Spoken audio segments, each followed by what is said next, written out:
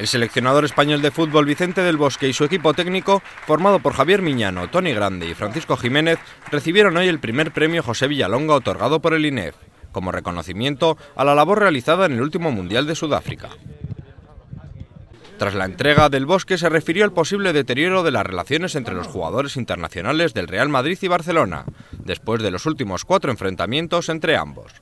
Ya soy un convencido de las buenas relaciones. Si hablo de buenas relaciones entre el cuerpo técnico, no quiere decir que nosotros no busquemos las buenas relaciones entre con los jugadores y que eso no digo que vaya a ser y ser absoluto de que eso vaya a ser la base del éxito. No, pero sí es bueno que haya cordialidad, que haya buena convivencia y no tememos que, eso vaya a suceder, no lo tememos. Lo único que sí que necesitamos una llamada de atención, una alerta, oye, puede pasar esto, pero nunca no estamos en el momento de dramatizar nada y confiamos plenamente en los jugadores.